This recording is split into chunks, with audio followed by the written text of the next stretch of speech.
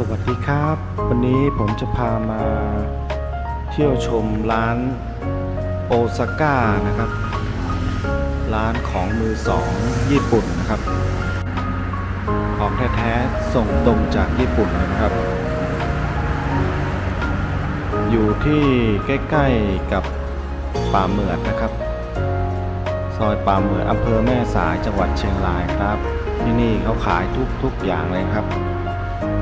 สากกระเบือยันเรือลบนะครับ มีทุกอย่างครับ ลองมาเลือกมาชมกันได้ครับ คลิปนี้ผมถ่ายไปยาวๆเลยนะครับเป็นเชิญชมกันได้เลยนะครับ ขอบคุณครับ